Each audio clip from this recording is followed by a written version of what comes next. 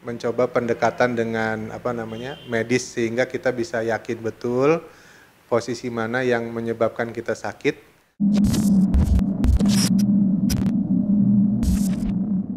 Perkenalkan, nama saya Saroyo Utomo. Saya tinggal di Bekasi Barat.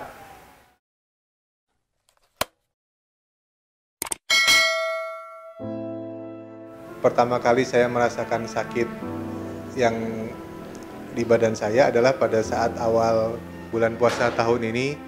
Nah, itu rasanya di bokong itu di sebelah kiri sampai dengan e, betis, kemudian jempol kaki kiri itu terasa nyeri sekali dan kalau berdiri itu seperti bokong itu rasanya ada gigitan di otot gitu. Jadi itu membuat saya sakitnya sampai kepala lah rasanya kalau udah seperti itu.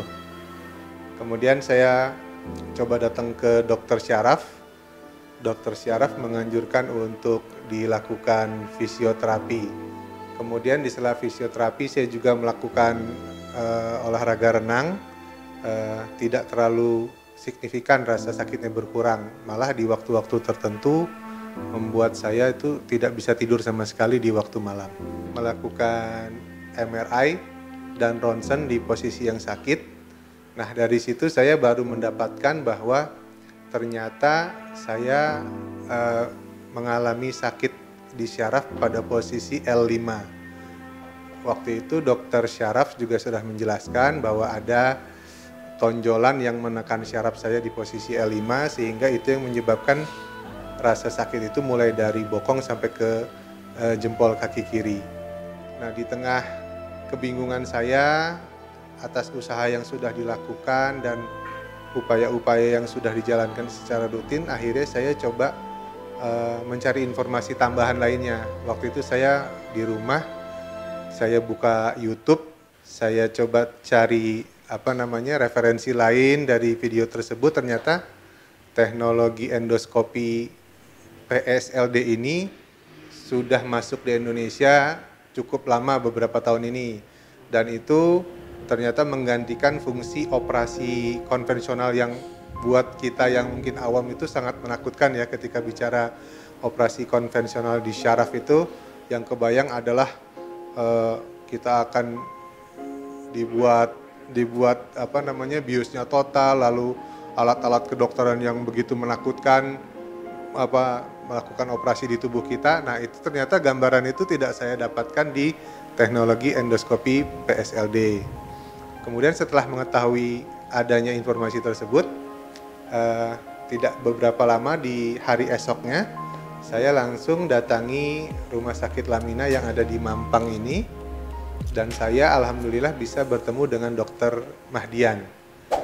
Nah kemudian setelah itu uh, kami membuat janji dengan dokter, dengan tim rumah sakit Lamina yang saya sangat berterima kasih karena para dokter dan para staf yang ada di rumah sakit ini sangat-sangat informatif, menjelaskan dengan sejelas-jelasnya bagaimana secara administratif dan secara teknis tindakan itu dilakukan. Tidak lama, kurang lebih dalam waktu 6 jam semenjak saya membuat jadwal, maka uh, sudah terbit administratif yang menjamin bahwa operasi ini bisa dilakukan dengan cepat. Sekali lagi saya sangat berterima kasih juga kepada kantor dan kepada asuransi Ramayana yang telah dengan cepat memproses klaim yang diajukan oleh saya terhadap rumah sakit. Kalau saya ditanya bagaimana pendapat dan pesan-pesan kepada kita semua, ketika ada keluhan yang sama di syaraf tulang belakang ataupun di syaraf kita, saya memang menyarankan mencoba pendekatan dengan apa namanya medis sehingga kita bisa yakin betul posisi mana yang menyebabkan kita sakit. Dan dari situ nanti silahkan pilihannya ada pada kita tapi minimal kita sudah mengetahui dengan yakin posisi sakit kita di mana kemudian kita bisa mendapatkan jawaban untuk penyembuhan baik secara medis maupun alternatif lainnya.